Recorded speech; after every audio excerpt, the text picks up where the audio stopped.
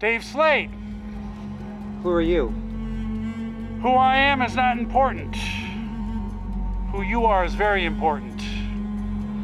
What is that supposed to mean? Astral projection. Leaving your body. Experiencing other dimensions. Even traveling through time. And that's how I know who you are, Dave Slade.